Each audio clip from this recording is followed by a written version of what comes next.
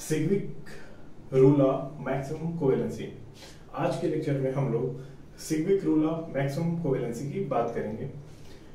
इस रूल के according atom having vacant orbital in outermost shell can extend its covalency atom जिसके outermost shell में vacant orbital होते हैं ना, खाली ऑर्बिटल होते हैं, या तो पी या तो डी ऑर्बिटल वे अपनी कोवेलेंसी को बढ़ा सकते हैं, यानी कि वही एटम अपनी कोवेलेंसी को बढ़ा सकते हैं, जिनके आउटर मोस्ट सेल में क्या हो?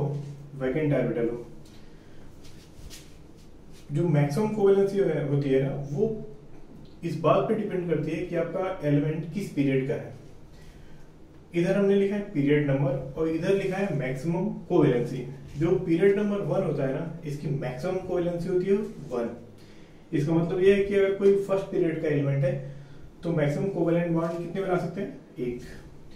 जो सेकेंड पीरियड के एलिमेंट्स होते हैं, उनकी मैक्सिमम कोवेलेंसी होती है फोर यानी कि सेकेंड पीरियड के element maximum covalent bond including coordinate bond वो कितने बना सकते हैं? फोर बना सकते हैं. फोर से ज़्यादा वो नहीं बना सकते. जो थर्ड पीरियड और फोर्थ पीरियड के एलिमेंट होते हैं ना, उनकी मैक्सिमम कोवेलेंसी है सेवन सेवन होने का मतलब है कि थर्ड या फोर्थ पीरियड की जो एलिमेंट है maximum seven covalent bond including coordinate bond बना सकते हैं. और जो फिफ्थ पीरियड है, और या फिर उसके बाद वाले जो पीरियड आएँगे, उनकी मैक्सिमम कोवेलेंसी होती है एट यानी कि वो मैक्सिमम एट कोवेलेंट बॉन्ड बना सकते हैं. ओके अब हम बात करते हैं वेरिएबल कोवेलेंसी की. When certain elements show different valencies due to excitation, then it is known as variable covalency.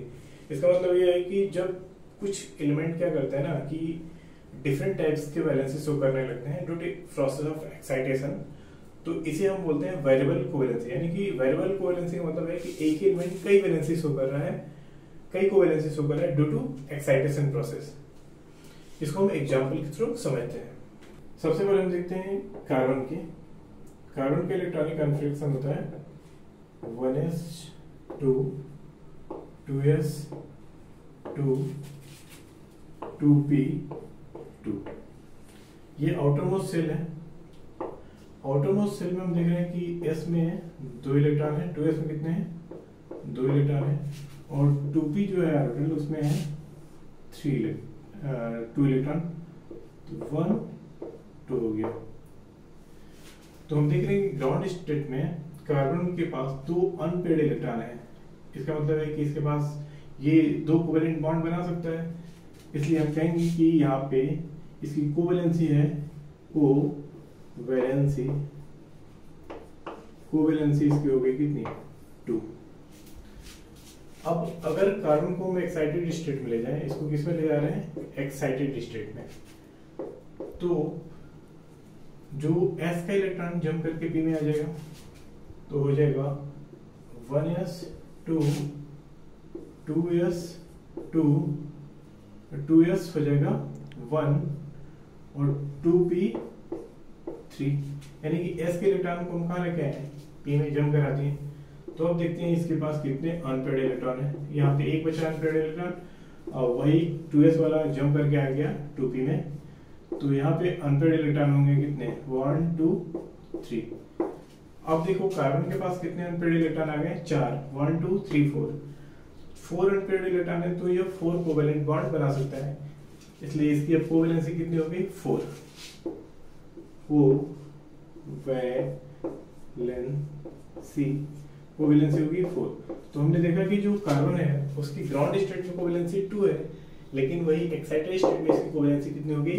Four इसलिए कार्बन जो होता है CCl2 बनाता है। टू स्टेट में क्या बना सकता है? CCl2 बनाता है। CCl2 और एक्साइटेड स्टेट में आ रहा है तो CCl4 बना लेते हैं। CCl4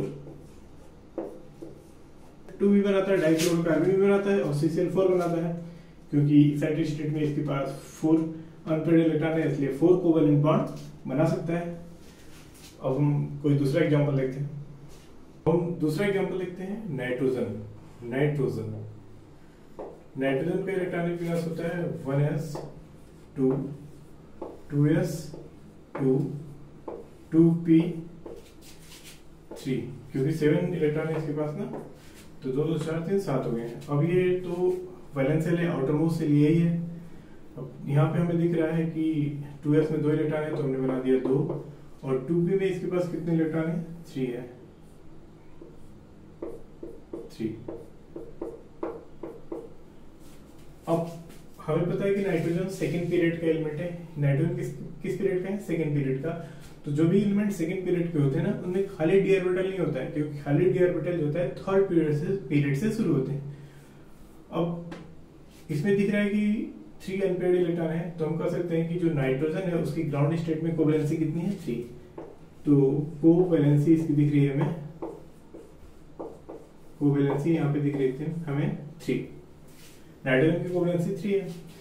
अच्छा क्या नाइट्रोजन का एक्साइटेड स्टेट बना सकते हैं क्या? तो एक्साइटेड स्टेट बनाने के लिए इस इलेक्ट्रॉन को या तो इसमें लाना है, या तो डी में ले जाना है। डी होता नहीं है, इसलिए डी में नहीं ले सकते। तो हमें लाना है पी में। अगर ये पी में लाएँगे तब भी ये जब जब करके आएगा तो पेड हो जाएगा तब भी थ्री इलेक्ट्रॉन बचेंगे। तो एक्साइटेशन करने के बाद भी हमें अनपेड इलेक्ट्रॉन थ्री मिलेंगे। इसका मतलब इसमें कोई फ़ायदा नहीं हुआ। नंबर ऑफ़ इलेक्ट्रॉन बढ़ ही नहीं रहे, इसलिए नाइट्रोजन में एक्साइटेशन नहीं होता है। तो इस, इसमें क्या होता है? नो एक्साइटेशन नो एक्साइटेशन इसका एक्साइटेड स्टेट नहीं आएगी। इसलिए जो नाइट्रोजन है ना वो वेरिएबल कोवेलेंसी नहीं शो करेगा। ये केवल एक कोवेलेंसी शो करता है वो होता है थ्री ये वेरिएबल कोवेलेंसी नहीं शो करता। तो याद रखना है कि नाइट्रोजन कोई वेरिएबल कोवेलेंसी नहीं शो करता है। क्यों नहीं शो करता है? क्योंकि इसमें एक्साइटेशन पॉसिबल नहीं है। आगे हम एक और एग्ज़ाम्पल के थ्रू देखते हैं। देखते हैं। हमारा जो अगला एग्जांपल है ऑक्सीजन इलेक्ट्रॉनिक विन्यास होता है one s two two s two two p four s में दो इलेक्ट्रॉन टू पी में फोर इलेक्ट्रॉन है। और हम जानते हैं कि ऑक्सीजन भी हमारा सेकेंड पीरियड का एलिमेंट है तो इसमें कोई डी ऑर्बिटल तो खाली है नहीं। और पी में केवल एक ही ऑर्बिटल खाली है। अगर ऐसे इलेक्ट्रॉन ले जाएँगे तो ये यहाँ, ये पेड हो जाएगा, ये अनपेड हो जाएगा। तो कुछ भी काम कर रहे हैं, हम ऑक्सीजन में नंबर ऑफ़ अनपेड इलेक्ट्रॉन की संख्या को बढ़ा नहीं सकते हैं। यानी कि इस मॉलिक्यूल में एक्साइटेशन पॉसिबल नहीं है तो जो ऑक्सीजन हमारा है वो वेरिएबल कोवैलेंसी शो नहीं करेगा। और इसकी केवल एक कोवैलेंसी होगी, वो होगी केवल दो। नेक्स्ट एग्जांपल हम देखते हैं फ्लोरीन जो नाइन्थ नंबर पे आता है। इलेक्ट्रॉनिक कॉन्फ़िगरेशन इसका 1s2 2s2 2p5 एस में वैलेंस सेल में यही है हमारा आउटर मोस्ट सेल है 2s2 2p5 एस में दो भर दिया हमने पी में 5 है तो 1 2 3 4 5 अनपेड इलेक्ट्रॉन कितना दिख रहा है? एक। तो हम कह सकते हैं कि जो फ्लोरीन की कोवेलेंसी कितनी है? एक, क्योंकि इसके ग्राउंड स्टेट में अनपेड इलेक्ट्रॉन एक है तो एक ही कोवेलेंट बॉन्ड ये बनाएगा। अब देखते हैं कि इसका एक्साइटेशन पॉसिबल है कि नहीं। तो चूँकि एक ही एक अनपेड इलेक्ट्रॉन है और कुछ भी कर ले, इसमें किसी भी इलेक्ट्रॉन का एक्साइटेशन करके नंबर ऑफ़ अनपेड इलेक्ट्रॉन को नहीं बढ़ाया जा सकता। तो हम ये कह सकते हैं कि फ्लोरीन में एक्साइटेशन पॉसिबल नहीं है, इसलिए फ्लोरीन वेरिएबल कोवेलेंसी नहीं शो करेगा। इस तरह से हमने देखा कि हमारे पास थ्री एलिमेंट मिल गए। थ्री एलिमेंट हमको ये मिल गए F O N fluorine oxygen nitrogen जिनमें एक्साइटेशन पॉसिबल नहीं होता है, जिसकी वजह से ये लोग वेरिएबल कोवेलेंसी नहीं शो करते हैं। तो अक्सर एग्ज़ाम में पूछ पूछ लिया जाता है, इनमें से ऑप्शन देख पूछता है कि कौन सा एलिमेंट है जो वेरिएबल कोवेलेंसी नहीं शो करता है। तो ये तीन एलिमेंट है फ्लोरीन ऑक्सीजन और नाइट्रोजन जो वेरिएबल कोवेलेंसी को नहीं शो करते हैं। आगे कुछ और एग्ज़ाम्पल की हम बात करेंगे। हमारा नेक्स्ट एग्ज़ाम्पल है फास्फोरस और जिसका इलेक्ट्रॉनिक कॉन्फ़िगरेशन है 3s2 3p3 हम देख रहे हैं कि इसमें अनपेड इलेक्ट्रॉन कितने हैं? वन टू थ्री फास्फोरस में अनपेड इलेक्ट्रॉन की संख्या थ्री है? यानी कि थ्री कोवेलेंट बॉन्ड बना सकता है। तो इसकी कोवेलेंसी हो जाएगी थ्री इसलिए फास्फोरस पी सीएल थ्री बनाता है, क्योंकि ग्राउंड स्टेट में कोवेलेंसी कितनी है इसकी? थ्री है। अगर इसका हम एक्साइटेशन करते हैं तो हमें एक्साइटेशन करेंगे। तो जो एस का इलेक्ट्रॉन है, वो जंप करके चला जाएगा डी में। अब डी में क्यों जाएगा? पी में क्यों नहीं जाएगा? क्योंकि पी में तो सारे इलेक्ट्रॉन अनपेड है। तो अगर इस इलेक्ट्रॉन को डी में जंप कराएँगे तो कोई ना कोई पेड हो जाएगा। तो हमें अनपेड इलेक्ट्रॉन की संख्या बढ़ेगी नहीं। अनपेड इलेक्ट्रॉन की संख्या तभी बढ़ सकती है जब यहाँ के इलेक्ट्रॉन को जंप करके डी में ले जाए। तो बात यह थी कि इससे पहले जो हमने एग्ज़ाम्पल पढ़ा था तो उसमें डी का यूज़ क्यों नहीं किया था? तो हमने जो पढ़ा था फ्लोरीन ऑक्सीजन नाइट्रोजन एक्चुअली वे सेकेंड पीरियड के एलिमेंट थे। जिनमें डी ऑर्बिटल नहीं होता है, लेकिन जो फास्फोरस है वो थर्ड पीरियड का एलिमेंट है, और थर्ड पीरियड में वैकेंट डी ऑर्बिटल खाली रहता है, इसलिए हम एस से डी में एक्साइटेशन कर सकते हैं। तो जब हमने एक्साइटेशन किया तो टोटल अनपेड इलेक्ट्रॉन हमको मिल गए फाइव तो हम कह सकते हैं कि एक्साइटेड स्टेट में फास्फोरस की कोवेलेंसी फाइव होती है, इसलिए यह बनाता है पीसीएल फाइव तो फास्फोरस दोनों बनाता है पीसीएल थ्री बनाता है पीसीएल फाइव बनाता है, क्योंकि इसकी कोवेलेंसी थ्री भी होती है फाइव भी होती है। थ्री में पीसीएल थ्री बनाता है फाइव में पीसीएल फाइव बनाता है। तो एक क्वेश्चन आता है कि क्या फास्फोरस पीसीएल फोर बनाएगा क्या? तो फास्फोरस होता है पीसीएल फोर नहीं बनाता है। क्यों नहीं बनाता? क्योंकि हमें पता है कि इसकी कोवेलेंसी थ्री और फाइव होती है। तो जितनी इसकी कोवेलेंसी ग्राउंड स्टेट में या एक्साइटेड स्टेट में होगी, वही वाले मालिक्यूल बनाएगा। ये बीच के मालिक्यूल नहीं बनेगा। ओके नेक्स्ट एग्जांपल में हम बात करते हैं सल्फ़र की। सल्फ़र के आउटर मोस्ट सेल का इलेक्ट्रॉनिक कॉन्फ़िगरेशन होता है three s two three p four इसमें हम देख रहे हैं कि, अच्छे सल्फ़र थर्ड पीरियड एलिमेंट है, जिसमें वैकेंट एरोटेल भी होगा। ग्राउंड स्टेट कॉन्फ़िगरेशन हम देख रहे हैं कि इसमें दो अनपेड इलेक्ट्रॉन है। दो अनपेड इलेक्ट्रॉन है तो दो कोवेलेंट बॉन्ड बना सकता है, इसलिए इसकी कोवेलेंसी कितनी होगी? टू और टू कोवेलेंसी में एक कंपाउंड बनाता है एस एफ़ टू इसको एक्साइट करें। अब एक्साइटेशन में हम इलेक्ट्रॉन को और पी के इलेक्ट्रॉन को एक्साइट कर दें तो पी में थ्री अनपेड इलेक्ट्रॉन हो जाएँगे, क्यों हो जाएँगे? क्योंकि अभी जो हमें दो ही दिख रहा है अनपेड तो हम इसे एस से नहीं ले जाएँगे, पहले पी से कर लेते हैं। तो पी से इलेक्ट्रॉन डी में ले जाएँगे। तो हमारे पास अब अनपेड इलेक्ट्रॉन कितने हो गए? फोर तो हमने एक बार एक्साइटेशन कराया तो सल्फ़र में अनपेड इलेक्ट्रॉन आ गए फोर यानी कि जो फ़र्स्ट हमारी एक्साइटेड स्टेट है, उसमें सल्फ़र में टोटल अनपेड इलेक्ट्रॉन कितने हो गए? फोर, वन, टू, थ्री ए फोर।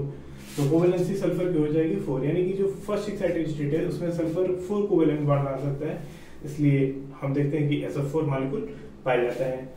इसमें क्या एक और एक्साइटेशन पॉसिबल है क्या हाँ ये वाला जो टू एस का इलेक्ट्रॉन है, इसको भी हम एक्साइट करके ले जा सकते हैं। तो एक और अनपेड इलेक्ट्रॉन हमें मिल जाएगा। तो एस के इलेक्ट्रॉन को हमने डी में जम करा दिया। तो हमारे पास टोटल अब अनपेड इलेक्ट्रॉन हो चुके हैं कितना? सिक्स तो हम बोलेंगे कि जो सेकेंड एक्साइटेड स्टेट है, उसमें सल्फ़र में टोटल सिक्स अनपेड इलेक्ट्रॉन है। तो इस जो सेकेंड एक्साइटेड स्टेट है, उसमें सल्फ़र टोटल कितने कोवेलेंट बॉन्ड बना सकते हैं? सिक्स इसीलिए वो बनाता है एस एफ़ सिक्स तो एक बात आती है कि क्या सल्फ़र एस एफ़ थ्री बनाएगा क्या? एस एफ़ थ्री नहीं बनाएगा। वो जब भी बनाएगा तो इवन वाला बनेगा S F two S F four S F six बीच का कोई भी कंपाउंड वो नहीं बनाएगा। जैसे एस एफ़ थ्री नहीं बना सकता। एसओ फाइव नहीं बनेगा। तो अगर ग्राउंड स्टेट में अगर कोवेलेंसी इवन है ना तो एक्साइटेड स्टेट में वो इवन ही आती है। इसको ऐसे रूल लिया अगर वो यहाँ टू है तो यहाँ फोर है तो यहाँ सिक्स है। तो ग्राउंड स्टेट में अगर कोवेलेंसी इवन है तो एक्साइटेड स्टेट में भी कोवेलेंसी क्या आएगी? इवन इसलिए एस एफ़ टू पाया जाता है एस एफ़ फोर पाया जाता है एस एफ़ सिक्स पाया जाता है, लेकिन एस एफ़ थ्री नहीं पाया जाएगा एस एफ़ फाइव नहीं एग्जिस्ट करेगा। फिर एक और एग्ज़ाम्पल हम देखते हैं ओके okay? तो नेक्स्ट एग्जांपल हमारा है जिनान जिसके आउटर मोस्ट सेल का इलेक्ट्रॉनिक कॉन्फ़िगरेशन होता है 5s2 5p6 अब देखते हैं, ये तो पूरा भरा हुआ है। कोई भी अनपेड इलेक्ट्रॉन नहीं है तो कोवेलेंसी ज़ीरो आ जाएगी। लेकिन अगर इसको हम एक बार एक्साइट करते हैं तो ज़बरदस्ती एक्साइट करें इसको। तो स्पेशल कंडीशन में जिनान कंपाउंड्स फॉर्म करता है, ये तो सभी जानते हैं। तो जो पी का इलेक्ट्रॉन है, वो जम करके किसमें आ जाएगा? डी में। तो एक इलेक्ट्रॉन को जम करा तो सिक्स इलेक्ट्रॉन को जम करा दिया तो डी में आ गया। तो जैसे हमने जिनान में फ़र्स्ट एक्साइटेशन कराया टोटल अनपेड इलेक्ट्रॉन मिलने लगे टू तो कोवेलेंसी हो गई टू इसलिए बनाता है एक्सीएफ टू अगर इसमें एक बार और एक्साइट कर दें तो एक और इलेक्ट्रॉन जम करके डी में आ जाएगा। तो ये ये वाला इलेक्ट्रॉन जम जम कर गया। तो अब टोटल अनपेड इलेक्ट्रॉन आ गए कितने?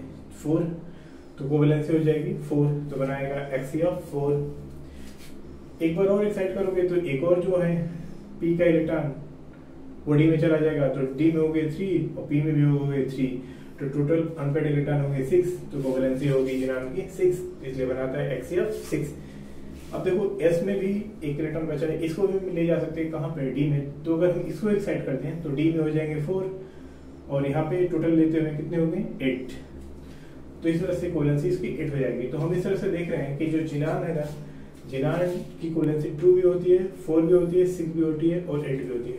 तो इस तरह से हमने देखा कि जो ग्राउंड स्टेट में इवन कोवेलेंसी शो कर रहा था वो एक्साइटेड स्टेट में इवन कोवेलेंसी ही शो करता है। Two four six eight okay अब तक हमने जो पढ़ा, उसकी एक समरी देखते हैं।